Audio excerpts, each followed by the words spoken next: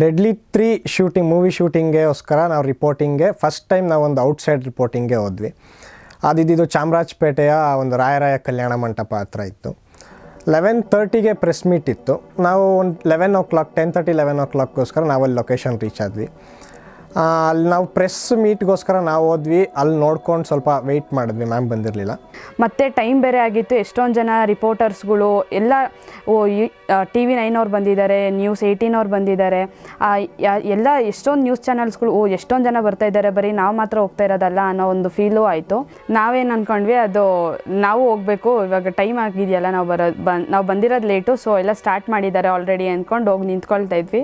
ಅದು ನೋಡಿದ್ರೆ ಬುಕ್ ಎಲ್ಲ ತೊಗೊಂಡೋಗಿ ನಿಂತ್ಕೊಂಡಿದ್ದೀವಿ ಅದು ನೋಡಿದ್ರೆ ಶೂಟಿಂಗು ವಾಪಸ್ ನಮ್ಮನ್ನೆಲ್ಲ ಈ ಕಡೆ ಕಳಿಸ್ಬಿಟ್ಟು ನಿಲ್ಲಿಸಿದ್ರು ಆದಮೇಲೆ ನಮಗೆ ಗೊತ್ತಾಯಿತು ಅಲ್ಲಿ ಪ್ರೆಸ್ ಮೀಟ್ ಯಾವುದೇ ಕಾರಣಕ್ಕೂ ನಡೀತಾ ಇಲ್ಲ. ಅಲ್ಲಿ ನಡೀತಾ ಇದ್ದಿದ್ದು ಶೂಟಿಂಗ್ ಅಂತ ಹೇಳಿ.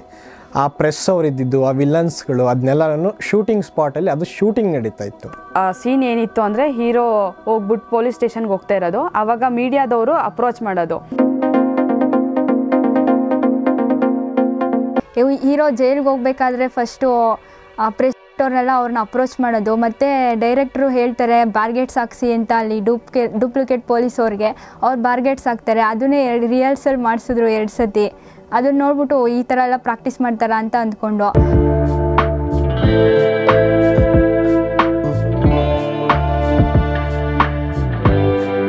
ಮತ್ತೆ ಹೀರೋ, ಅದೇ ಸಿನಿಮಾ ಶೂಟಿಂಗು ಮತ್ತೆ ಹೀರೋ ಜೈಲಿಂದ ವಾಪಸ್ ಆಗ್ತಾನೆ. ಆಗ ಅಲ್ಲಿರೋರೆಲ್ಲ ಖುಷಿ ಪಡ್ತಾರೆ, ಮತ್ತೆ ಡ್ರಮ್ ಸೆಟ್ ಎಲ್ಲ ಬಾರಿಸ್ತಾರೆ.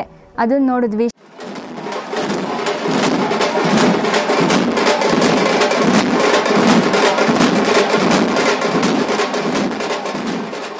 फिर प्रेस कॉन्फ्रेंस के लिए हम वहाँ पे गए तभी वहाँ पे अ, तभी वहाँ पे रियल वाले मीडिया वाले लोग थे सभी वहाँ पे अलग अलग तरह से कैसे देखा कि कैसे अलग अलग तरह सभी ने कैमरा सेटअप किए हैं अलग अलग तरह से कैसे लोग वहाँ पे मीडिया वाले सभी लोग आए हुए थे तभी प्रेस कॉन्फ्रेंस शुरू होने के बाद वहाँ पे हमने देखा कैसे वो लोग उनसे सवाल पूछे अलग अलग तरह से कैसे क्वेश्चन कर रहे हैं, कि मूवी में कैसे मूवी होती है, कैसे डायरेक्टर ने मूवी किस, वो कहाँ से लिखी, लिखने की प्रेरणा उनको कहाँ से मिली मूवी लिखने के लिए।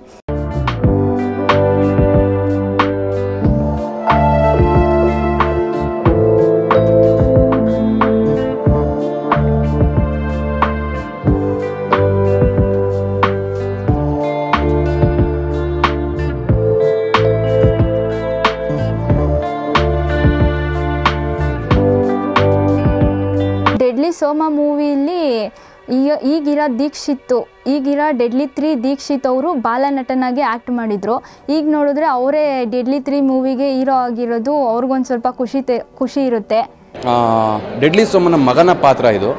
ಸೋಮ ಅವ್ರು ಎನ್ಕೌಂಟರ್ ಆಗಿರ್ತಾರೆ ಅವಾಗ ರಕ್ಷಿತ್ ಅವರು ಪ್ರೆಗ್ನೆಂಟ್ ಇರ್ತಾರೆ.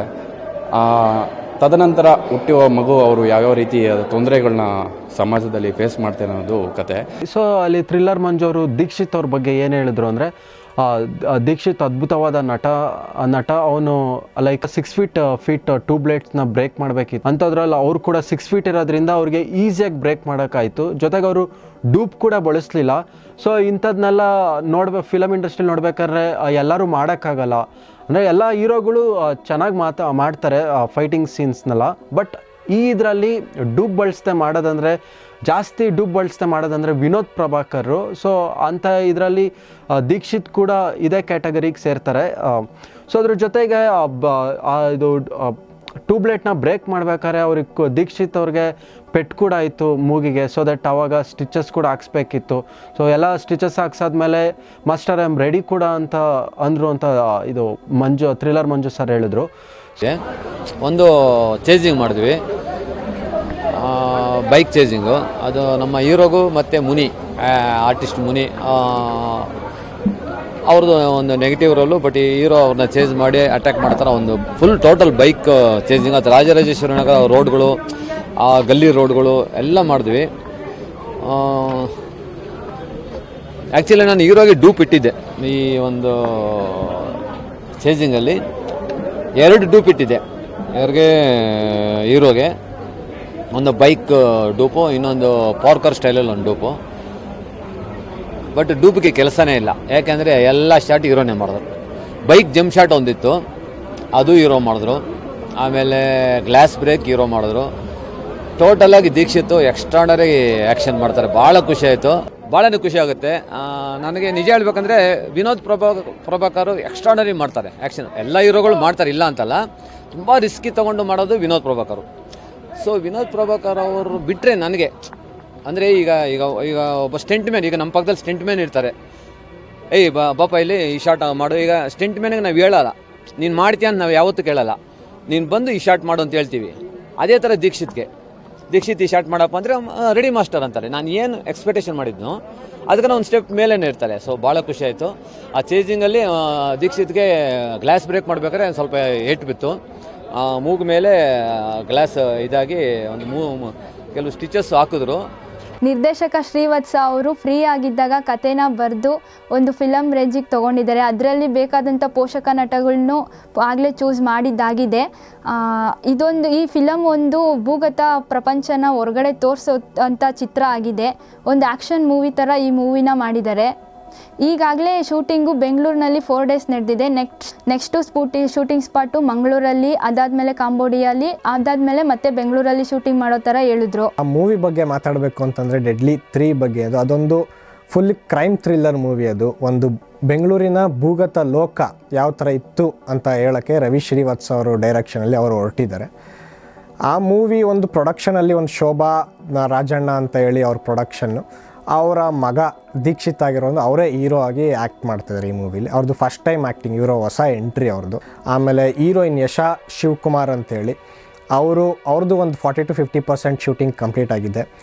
ಭೂಗತ ಲೋಕ ಅಂತ ಹೇಳಿದ ತಕ್ಷಣವೇ ಎಲ್ಲರ ಮೈಂಡ್ಗೂ ಬರೋ ಅಂಥದ್ದು ಅಂತಂದರೆ ಆ ಮೂವಿದೊಂದು ಕಾಂಟ್ರವರ್ಸಿ ಕೂಡ ಆಗಿತ್ತು. ಮುತ್ತಪ್ಪರೈ ಬೇಸ್ಡ್ ಇದು ಅವ್ರ ಜೀವನ ಚರಿತ್ರೆ ಅವ್ರು ಮಾಡ್ತಾಯಿದ್ದಾರೆ ಅಂಥೇಳಿ ಅದೀಗ ಅವ್ರ ಮುಂಚೆ ಎಲ್ಲ ಎಂ ಆರ್ ಅಂತಲೇ ಒಂದು ಸಿನಿಮಾದ ಒಂದು ಟೈಟಲ್, ಟೈಟಲ್ನ ಇಟ್ಟಿದ್ರು. ಅದೊಂದು ಕಾಂಟ್ರವರ್ಸಿ ಕ್ರಿಯೇಟ್ ಆಗಿ ಗಾಂಧಿನಗರದಲ್ಲಿ. ಈಗ ಅದನ್ನು ಡೆಡ್ಲಿ ಸೋಮ ಇತ್ತಲ್ಲ, ಅದೇನ ಪಾರ್ಟ್ ತ್ರೀ ಮಾಡಿ ಡೆಡ್ಲಿ ತ್ರೀ ಅಂತ ಮಾಡಿದ್ದಾರೆ. ದೀಕ್ಷಿತ್ ಅವ್ರ ಲುಕ್ಸ್ ಎಲ್ಲ ಖಡಕ್ ಲುಕ್ ಅಂತ ಕೊಟ್ಟಿದ್ರು. ಅವ್ರನ್ನ ನೋಡಿದ ತಕ್ಷಣ ಫಸ್ಟು ನನಗೆ ಏನು ಅನಿಸ್ತು ನನ್ನ ಒಪಿನಿಯನ್ ಏನು ಅಂತಂದರೆ, ಮುತ್ತಪ್ಪರ ಇಷ್ಟೊಂದು ಉದ್ದ ಕೂದಲು ಯಾವಾಗ ಬಿಟ್ಟಿದ್ದ ಅಂತ ನನಗಿದೊಂದು ಪ್ರಶ್ನೆ ಆಗಿ ಕಾಡ್ತು ನನಗೆ. ಆಮೇಲೆ ಪ್ರೆಸ್ ಮೀಟಲ್ಲಿ ರವಿ ಶ್ರೀವತ್ಸ ಅವ್ರು ಹೇಳಿದ್ರು, ನನಗೆ ಗೊತ್ತಿದ್ದರು ಗೊತ್ತಿದ್ರು, ಮುಂಚೆ ಎಲ್ಲ ಅವ್ರು ಇದೇ ಥರನೇ ಇದ್ದಿದ್ದು. ಅವ್ರ ಇನಿಷಿಯಲ್ ಡೇಸಲ್ಲಿ ಈ ಥರ ಇದ್ದರು ಆ ಥರ ಅಂತೆಲ್ಲ.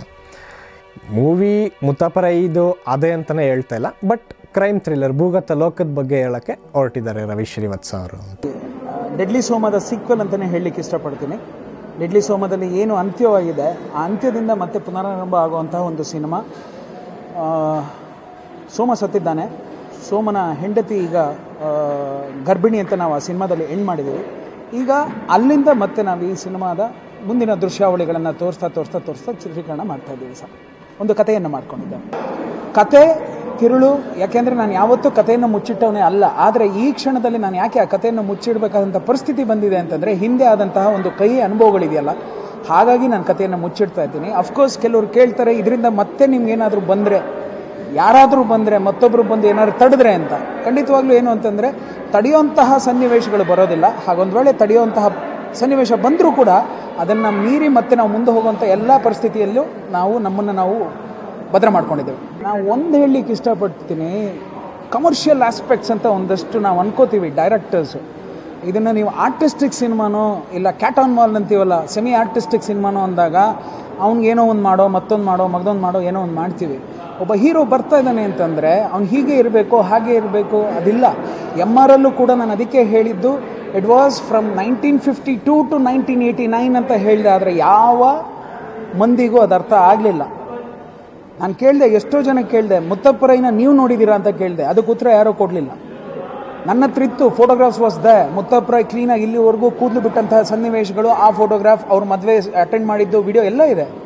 ಯಾರೂ ಕೇಳಲಿಲ್ಲ okay let's leave it off but ಈಗ ಅಲ್ಲಿದ್ದಂಗೆ ಇಲ್ಲೇ ಇದ್ದಾನೆ ಅಂತಂದರೆ yes I wanted him to be very commercial on the screen ಅವ್ನು ಬರ್ತಿದ್ದಾನೆ ಅಂದರೆ ಹುಲಿ ಬಂದಂಗೆ ಬರಬೇಕು. ಆ ಬರಬೇಕಾದ್ರೆ ಏನು ಅಂತಂದರೆ ಫಾರ್ ಎಕ್ಸಾಂಪಲ್ ಎಲ್ಲೋ ಒಂದು ಕಡೆ ನಂಗೆ ಓಮ್ನ ಶಿವಣ್ಣ ಅವ್ರು ಇನ್ಸ್ಪೈರ್ ಆಗ್ತಾರೆ, ಏನೋ ಉಪೇಂದ್ರ ಅವ್ರು ಇನ್ಸ್ಪೈರ್ ಆಗ್ತಾರೆ, ಮತ್ತೊಂದು ಆಗ್ತಾರೆ. ಆ ನಿಟ್ಟಿನಲ್ಲಿ ನನ್ನ ಹೀರೋನು ಚೆನ್ನಾಗಿರಲಿ ಅಂತ ಅದನ್ನು ಹಾಗೆ ಕಂಟಿನ್ಯೂ ಮಾಡಿದ್ದೀನಿ ಬಟ್ ಅದೇ ಈಗ ಹೇಳ್ತೀನಲ್ಲ ನೆಕ್ಸ್ಟ್ ಟೈಮ್ ನಾವು ಯಾವಾಗಲೇ ನಿಮ್ಮನ್ನು ಭೇಟಿ ಮಾಡ್ಬೇಕಾದ್ರೆ ಖಂಡಿತವಾಗ್ಲೂ ಈ ಹೀರೋ ಹೀಗಿರೋದಿಲ್ಲ, ಬೇರೆ ಏನೋ ಇರ್ತಾನೆ.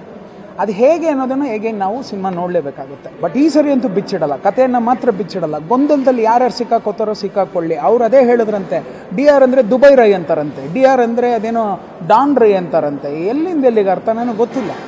ಹಾಗಾಗಿ ನಾನು ಈ ಸರಿ ಕ್ಲೀನಾಗಿ ಹೇಳ್ತಾ ಇದ್ದೀನಿ. ಇಟ್ ಈಸ್ ಡೆಡ್ಲಿ ತ್ರೀ ಅಂತ. ಡೆಡ್ಲಿ ತ್ರೀ ಬಂದು ಯಾರ ಸ್ವತ್ತು ಅಲ್ಲ. ಅದು ನಮ್ಮ ಸ್ವತ್ತು.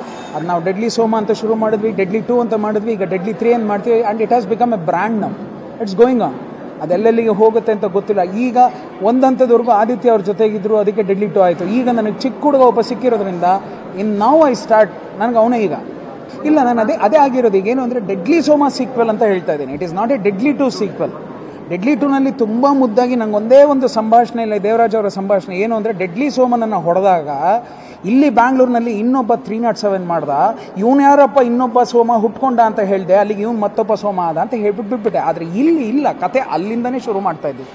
ಇಲ್ಲಿ by slip of a tongue, ಮತ್ತೊಂದು, ಮಗದೊಂದು ಏನೂ ಆಗ್ತಿಲ್ಲ. ಇಲ್ಲಿ ಕಥೆಯನ್ನು ಅದೇ ರೀತಿಯಲ್ಲೇ ಬರ್ಕೊಂಡು ಹೋಗ್ತಾ ಇದ್ದೀವಿ ಏನು, ಸೋಮ ಸತ್ತ, ಇಲ್ಲೊಬ್ಬ ಹುಡ್ತಾನೆ ಇವನು ಏನಾಗ್ತಾನೆ ಅನ್ನೋದೇ ಟೋಟ್ಲಾಗಿ ಹೋಗ್ತಾ ಇದೆ. ಹೀರೋ ಕೂಡ ಮಾತನಾಡಿದ್ರು ಹೀರೋ ತನ್ನ ಎಕ್ಸ್ಪೀರಿಯನ್ಸನ್ನು ಶೇರ್ ಮಾಡ್ತಾ ಇದ್ರು, ಬೆಳಗ್ಗೆ ಆರು ಗಂಟೆಗೆ ಹೇಳ್ಬೇಕು ಆ್ಯಂಡ್ ಶೂಟಿಂಗ್ ಸ್ಪಾಟ್ಗೆ ಬರಬೇಕು, ಅದೆಲ್ಲ ಒಂದು ಡಿಫ್ರೆಂಟ್ ಆಗಿದೆ ನನ್ನ ಲೈಫಲ್ಲಿ ಅನ್ನುವಂಥದ್ದನ್ನ ಶೇರ್ ಮಾಡಿದ್ರು.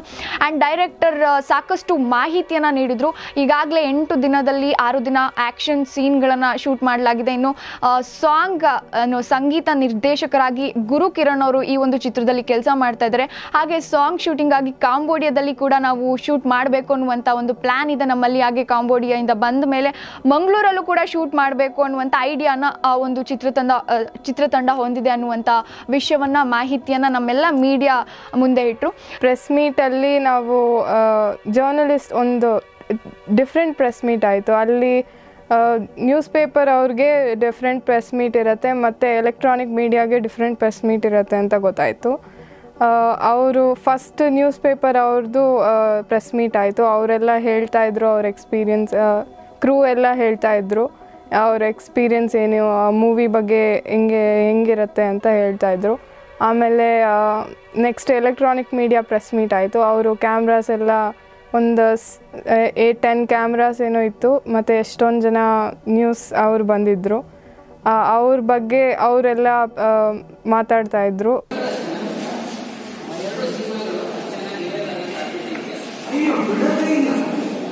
Mama.